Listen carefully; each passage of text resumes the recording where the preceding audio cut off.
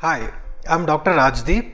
I'm a dermatologist and dermatosurgeon practicing at Charma, a skin, hair, and nail clinic attached to Chirag Hospital in JP Nagar, Bangalore. So, latest advances in science have allowed us to understand that the gut bacteria or the bacteria which is present in our intestines is affecting various other organs like our uh, lungs, kidney, brain, skin, etc.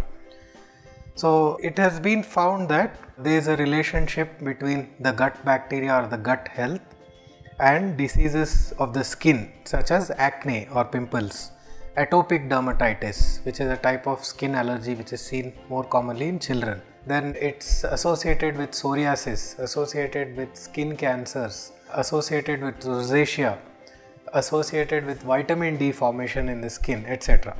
So these researches are still in an early stage and uh, it definitely helps to use uh, food which is fermented which has good bacteria using curd using other fermented food idli or uh, any other fermented food which has good bacteria helps to improve the health of your gut. So this in turn helps to improve the skin and reduces inflammation due to diseases uh, like acne psoriasis atopic dermatitis rosacea etc so this is still in the early stages and uh, it requires lot more research to understand the relationship between the intestines and the other organs in the body.